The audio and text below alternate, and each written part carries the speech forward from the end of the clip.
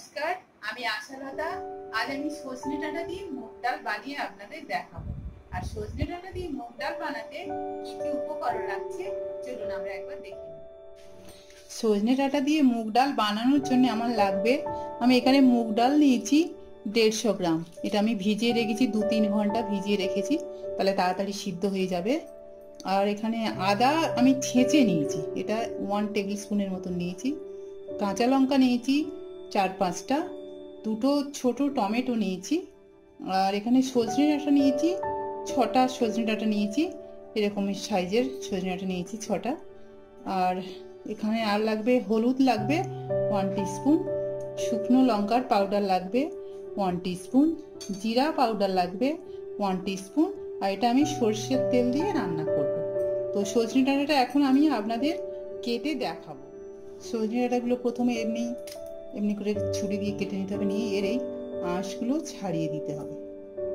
ছাড়িয়ে দিলে, না তো এটা একদম ওতে ঠিক যেন মশলা ঢোকেনি আর খেতে অত ভালো লাগে না। এমনি করে করে কাটতে হবে। এরকম করে খুব ইজি এটা কাটতে হবে। আর এটা তো খুবই উপকারী সজনেটা।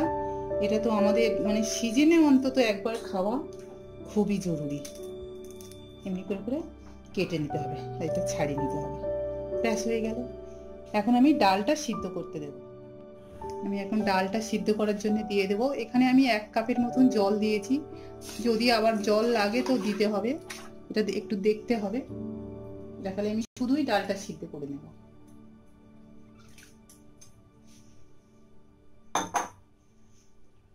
এটা আমি ঢাকা দিয়ে রাখব। প্রথমে আমি একটু গ্যাসটা জোরে রাখব। তারপরে একবার ফুটে উঠলে আমি এটা মিডিয়াম করে দেব। তো এটা ঢাকা দিয়ে আমি রান্না এটা আমি চার পাঁচ মিনিট ঢাকা দিয়ে সিদ্ধ করে নিয়েছি। অর্ধেক সিদ্ধ হয়ে গেছে। একদম অর্ধেকটা সিদ্ধ হয়েছে। এবার আমি সজনে ডাঁটাগুলো দিয়ে দেবো। সজনে ডাঁটাটাও দিয়ে দিলাম। আর টমেটোটাও দিয়ে দেবো এখন। একটু কাঁচা লঙ্কা দেবো আর একটু আদা দেবো এখন। দিয়ে নুনটাও দিয়ে দেব। টেস্ট অনুযায়ী নুনটা দিয়ে দিলাম। আরও একটু জল দেব। জল যদি আরও পরে লাগে দেব, এটা আমি আবার এটা ঢাকা দিয়ে রান্না করব সজনে ডাঁটাটা যতক্ষণ না সিদ্ধ হবে। চার পাঁচ মিনিট করলে হয়ে যাবে। ঢাকা দিয়ে আমি ওই মিডিয়াম হিটেই রাখব। এটা আমি চার পাঁচ মিনিট ঢাকা দিয়ে রান্না করেছি। সজনে ডাঁটাগুলো সিদ্ধ হয়ে গেছে। এবার আমি এর মধ্যে দিয়ে দেব লঙ্কার পাউডারটা দিয়ে দেব। এটা যেমন লঙ্কা খাবেন, দেবেন, যারা কেউ যদি কম লঙ্কা খান তো কম দেবেন। আমরা একটু লঙ্কা বেশি খাই তো বেশি দিচ্ছি হলুদও দিয়ে দেবো হাফ টিস্পুনের মতো। দিয়ে এটা আবার আমি দু মিনিট রান্না করব। দু মিনিট আবার একটু ঢাকা দিয়ে আমি রান্না করব।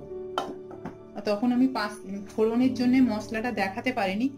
ফোড়নের জন্য আমার লাগবে, আমি শুকনো লঙ্কা নিয়েছি তিনটে, পাঁচ ফোড়ন নিয়েছি ওয়ান টিস্পুন আর তেজপাতা নিয়েছি দুটো। এগুলো আমার ফোড়নের জন্য লাগবে। ডালটা হয়ে গেছে, এবার আমি এটা নামিয়ে নেব, নিয়ে তারপরে আমি ফোড়ন দেব। এটা এখন আমি নামিয়ে নেব। আমি এবার তেল দিয়ে দেব। টু টেবিল স্পুনের মতন তেল দিলাম।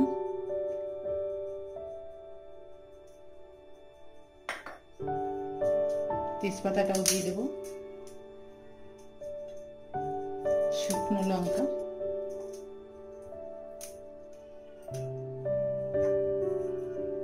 পাঁচ ফোড়নটাও দিয়ে দিলাম।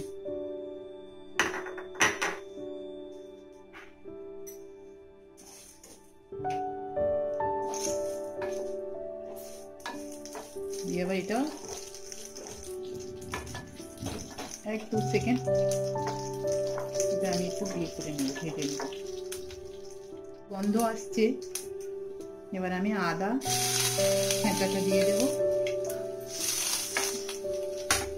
দিয়ে দেবো এর সাথে জিরার পাউডারটা দিয়ে দেবো দিয়ে এবারে একটু এটা মিলে চেড়ে নেব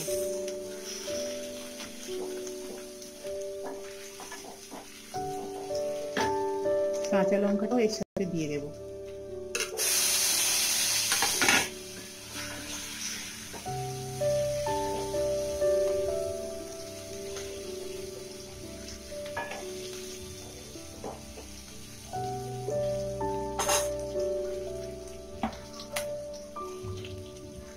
এবার আমি ডালটা এর মধ্যে ঢেলে দেবো।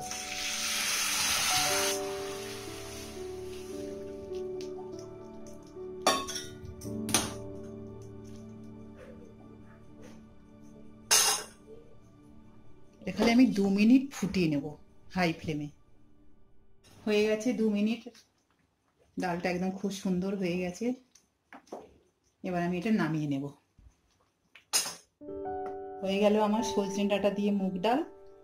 এমনি করে আপনারা বানাবেন, এটা খুবই টেস্টি খুবই মজা লাগবে খেতে ভাতের সাথে।